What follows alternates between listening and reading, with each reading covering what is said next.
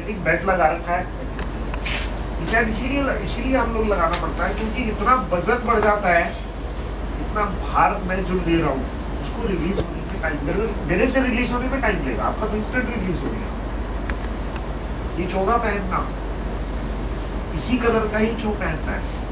हाँ, तो ये सवाल तो मेरा भी था कि ये आप क्यों पहनते हाँ। ऐसी इसी कलर का इसी तो कलर का और यही चोगा पहनना है फ़र्क सिर्फ़ इतना है कि इसकी लेंथ हमने थोड़ी कम कर ली है।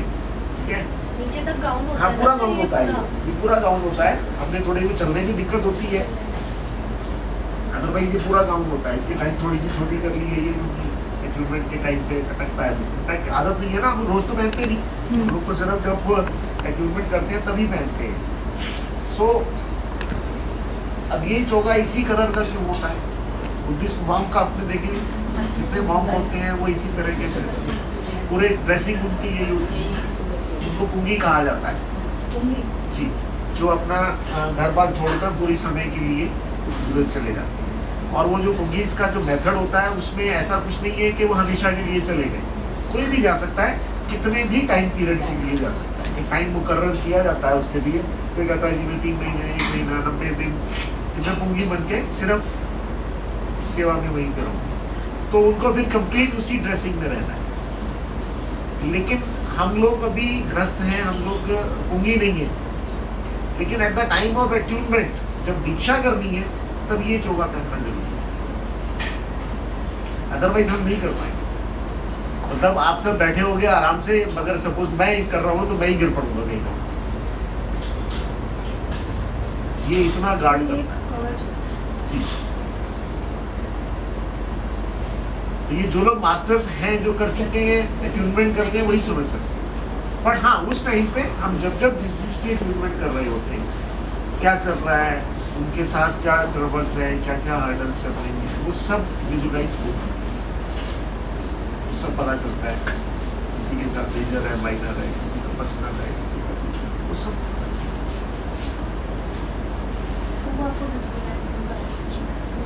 वो आपको धीरे धीरे जो जो आप करते जाएँगे मिलते जाएँगे पता चलता है। और हाँ बट जब हम अट्यूनमेंट कर रहे हैं उस समय पर हम नहीं करते।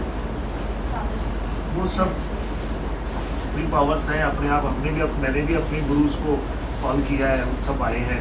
वो सब अपने आप अपना अपना काम करते हैं।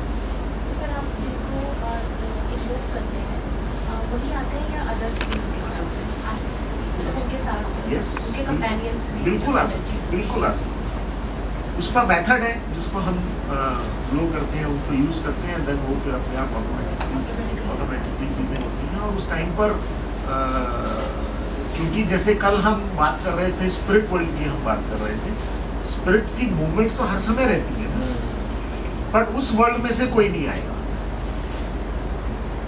उसकी दुनिया वो डिस्टर्ब नहीं करे बीच में स्पिरिट से। मूवमेंट तो उनकी भी चल रही है ना। पर उस टाइम पर जितनी जगह पर हमारा काम हो रहा है हमने इसको गार्ड कर लिया तो भैया तुम अपनी दुनिया में रहो पर हमारे इसमें डिस्टर्बेंस नहीं करना है क्योंकि उसमें भी तो एंटर कर सकते हैं ना। और उस टाइम पर अगर आपके ट्यूनमेंट के टाइम पर अगर बैड स्पिरिट्स आ गई तो टाटा होगा। क्योंकि सबके और खुले हुए हैं। आप सबके जब ट्यूनमेंट सबके और खुले हुए हैं कुछ भी हो सकता है। तो दैट टाइम पे उनको रोकना, उनको एंट्री ना हो। सिर्फ़ जो जिनकी रिक्वायर्ड है, जो पावर्स हैं, वही रहें, वही अपना काम उसमें कुछ मेथड्स हैं मास्टर्स के, वो जो हम लोग यूज़ करते हैं, ताकि बाकी सारा कि improvement improvement is not a joke कोई किसी भी बहुत भारी होता है। मेरा सिर अभी तक बहुत भारी है और रहेगा अभी थोड़ी देर और। इसीलिए फिर हम लोग ये एक मैग्नेटिक बैंड बना रखा है, उसको पहनने से थोड़ा मैं बात कर पा रहा हूँ। अगर मैं ये नहीं पहना होगा तो मैं बोल भी नहीं पाऊँगा। इतना भारी हो जाएगा। क्योंकि पंद्रह बीस लोगों की ट्रीटमेंट करनी है। हाँ। हाँ। स्मेल कई बार होता है कुछ आ सकते मुझे थी। वो बहुत लग रही थी पर समझ नहीं पाई मैं किस चीज़ की थी कि, मुझे लगा बाद में कि आपने कुछ स्प्रे किया किया होगा। इतनी थी सर आपने मुझे तो लगा कि प्रॉपर वो स्प्रे मैंने कहा ना जो डिवाइन के जितने भी आते हैं वो सब अपनी अपनी कुछ ना कुछ उस समय हैं। फ्रेगनेंस होती है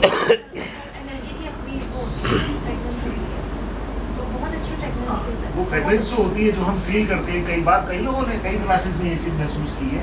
वो जो होती है वो क्वाइट इम्पोर्टेंट नेचर है अपने आप को। सर ये लास्ट टाइम भी आपकी क्लास में थी फ्रेग्रेंस तो मुझे उस टाइम पे मैं पूछना हाँ, हो मुझे लगा आपने शायद स्प्रे किया। नो नथिंग जो स्प्रे मैं सिर्फ़ ये है, ये गुलाब की पंखड़ियाँ बाद में मैंने सब पर रोज स्प्रे बताते थे हाँ, स्टार्ट में आई तो मुझे वही मेरा चल रहा था थॉट प्रोसेस कि आपने शायद स्प्रे किया। वाला मंत्र चला था तभी आ गई हाँ, थी। तभी sentence। tभी आ गई लेवल वन टू Point.